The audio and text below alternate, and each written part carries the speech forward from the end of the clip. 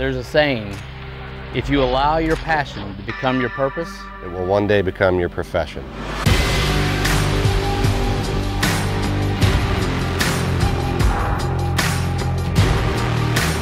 Our job is to give people the opportunity at the fish of a lifetime. But on our days off, it's our turn.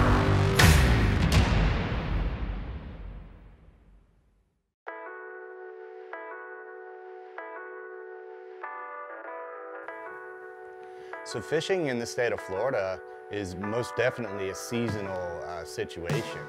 We've got the, the transition from summer to fall is very important for the migration of most of our uh, pelagic fish as well as fish like cobia, uh, even redfish schools. All of those fish will travel on the season change. In early October, uh, we start maybe seeing a few cold fronts. Uh, but as we get into November, we still get some of those bigger ones. But a lot of times people don't notice it on land, but being on the water all the time, you see a lot of uh, just fish change. And a lot of that is migratory species that are on the move, uh, birds and bait. A lot of things happen on the water different uh, that really kind of clue you into that season change and when it's fixing to be right. Well, we're on a full moon which means a few things. It means we've got big tides yeah. in and out. Uh, pretty low this morning, like dirt low actually. Yeah, it is. But it will come in quick. Once that moon sets, it'll come in really fast. So uh, let's do a little inshore fishing, and then do you think yeah. we're going to be able to get out offshore? I think so. You know, the wind forecast supposed to lay down even more a little bit later in the morning, early afternoon, and uh, we'll get some bait on the beach, run inside, see if we can pick off a few uh, snook and redfish.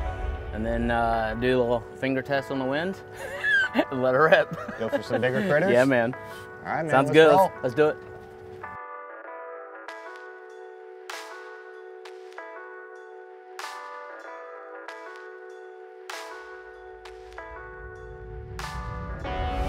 Low, low, low, baby. Mm-hmm. Hey, we're getting close to that bar, too. I think I just saw a flicker out here, it's too. flicking right on the beach about 10 yards ahead of you. Okay. That's pretty good meat pile right there, buddy.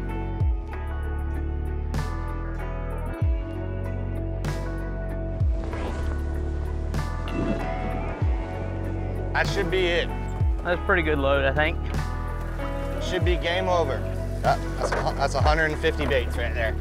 So even with small changes in nature that, that we see on the water really on a daily basis, we get into this fall pattern. Uh, we see things like the, the bait fish making a move. We see these pelagic species making a move. And that for us is really kind of kind of ramps us up a little bit about what's fixing to happen for that fall bite. Low tide was at 744. Okay. Actually 730. So the really. water's crushing in, but they're still down in that trench for, for sure. Yeah, I think so too. And we got to just get to the north side or the east side of that trench, right? Yeah,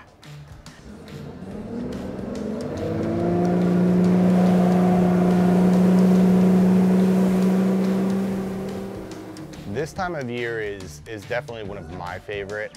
Everything starts to, to get away from the, the stickiness, the hotness, the heavy, hot, humid uh, days and mornings that we've had for you know months, really since June.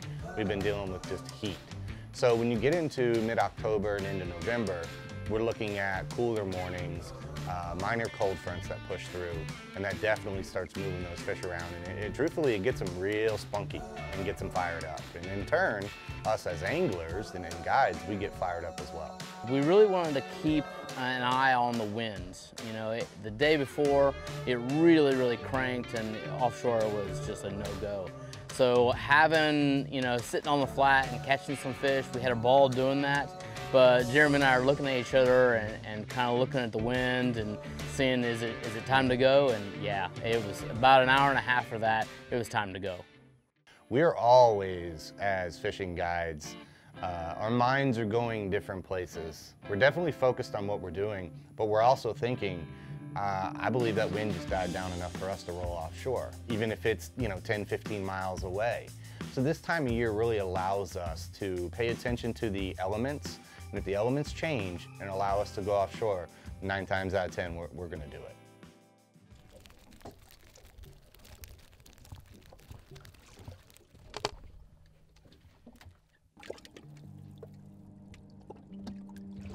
So when we were inside, we were catching some uh, some redfish and some snook. Yeah. All of a sudden, that wind just stopped. So gave us a perfect opportunity to run. Right. When that happens, you know you know it's spinning, and you've got three, four hours probably Yep. to get out here and get it before the westerly kicks back up. Well, we looked at that, what that weather's gonna do tomorrow. It shouldn't be a problem catching a few fish. I can I can say that much. The first thing we saw was a crazy number of barracuda. Uh, now, truth is, we love to catch them. They're a lot of fun, but when we got there, put our motor, trolling motor in spot lock, we were able to sit there and we started chumming and the barracuda came alive. Oh, Cuda, hot on me. Oh, he got it. He got it. I've got this barracuda sitting right here in the water and it's still splashing around. I'm kind of waiting for it to calm down a little bit before I get my hands close to its face. And I no sooner do, and I look out and I see three or four cobia literally swimming right to the boat. Well, sure enough, I look over, Jeremy has a bait already rigged up, ready to cast at him. Perfect execution. It couldn't have happened any better. He made the cast, well, the first one swam right by it. The second one says, no, no, no, we're gonna take some of that. Oh, eat it, eat it all. Oh yeah, he got it, he got it. Yeah, baby. Big guy on, big cobia, boys, big cobia. Good spot, Jag. There was three of them. I know. Hey, I close know. that up for me, brother.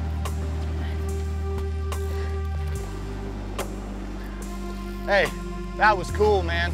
Oh, dude. Now he's figuring out what's happening to him here. Got him on the tarpon stick, thank God. I'm gonna put this guy on the ice, big guy. Yeah, man. We don't get that much opportunity to pull on those, and I tell you, Ah, that's a pretty good eat. By the way, we get that to the boat. I'm coming to your house for dinner. you don't have to convince me, brother. Oh, look, you even have a boat grip. I got a boga, I got a gaff, I got a net. I mean, do you have a big net? I got a net. If you haven't seen a cobia before and it comes out of the depths and, and, and looks, at, uh, looks at you for the first time, you're more than likely going to think it, that it's a shark. Uh, everybody who fishes for cobia at one time or another has made a mistake uh, on, a, on a cobia thinking it was a shark. They may not admit it, but they have. And I, I fall into that category as well, especially the bigger ones. You just don't exactly know exactly what you're looking at until you get a good four or five seconds of uh, vision on them, and then it, it, it pops in. Oh, that's a cobia. I better get my stuff together. All right, there we go. Oh, yeah. All right, you got slack. Yeah, but Yeah. he's barely fits in the net. all right, that's all right. The net's gonna break. Nope, nope. Dude, that's a freaking stud and a half. That's awesome. some of that, huh? Hey, that's the smallest one of the three. I know, there were torpedoes coming right to us. Yeah, he's just the fastest. Okay. Oh, Stud. it's a great fish. Yeah, man.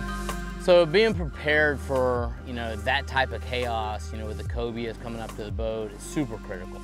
You know, having having the right rigs already set together with live bait and of course having a couple rods rigged and ready to go with some artificial is always a smart move.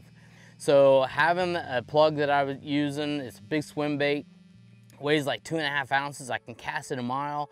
I can cover a lot of ground and it's super flashy. And I think that's one of the things that those fish really keyed in on.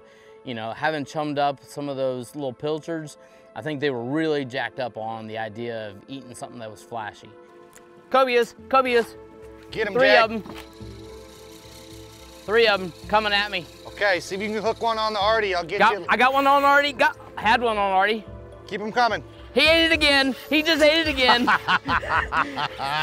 Three of them still right stick here. him, bub. Stick them. Okay, okay, okay. They're still right here. And one's a giant. One is an absolute giant. See if I can keep him right here for a minute. You can get a bait right here if you want. I'm coming. I'm coming. Are they still there? Yeah, they were right here with it. They, they can't be too far. So fighting cobia on the rod is, is something that can get really addicting. They'll charge at a bait, and as soon as they eat it, they immediately turn away. And when you come tight on them, He uh, realizes at that point that there's a problem and he does nothing but head shakes all the way as he sounds. When he's diving that hard to the bottom, we're trying to keep him out of the wreck. We're using heavy 65 pound braid and really trying to pull that fish away from that structure. On the plug? Yeah, baby. Oh my gosh. Come on. Oh, it's a good one too. Incredible. Come on, where are you, big boys? The the one that was leading this guy, large. I mean, he's hooked right in the corner.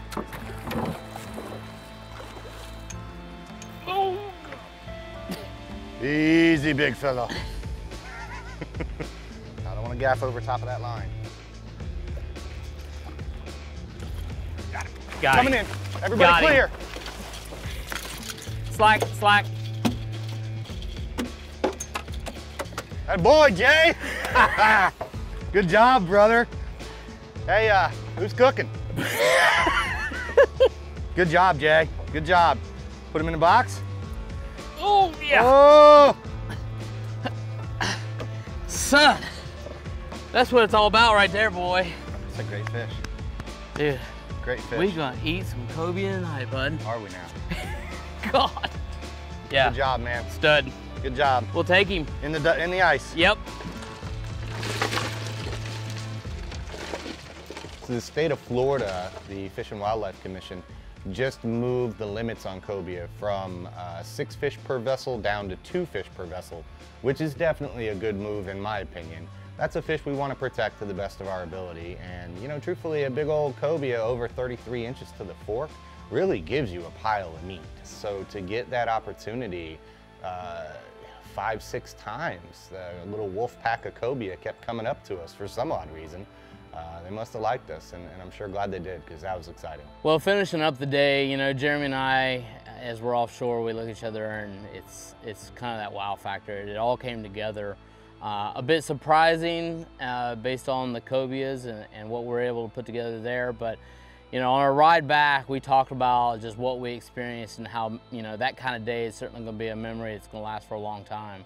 And you know, when we come in through the past and realize that what we did from the diversity level, from fishing inshore in the morning to running offshore and having a blast, there's there's something to be said about that, and that's something that keeps us doing it. And um, it- it's tough to beat, no doubt about it. Anytime we have that opportunity, you got to take advantage of it, and we had a great day that day.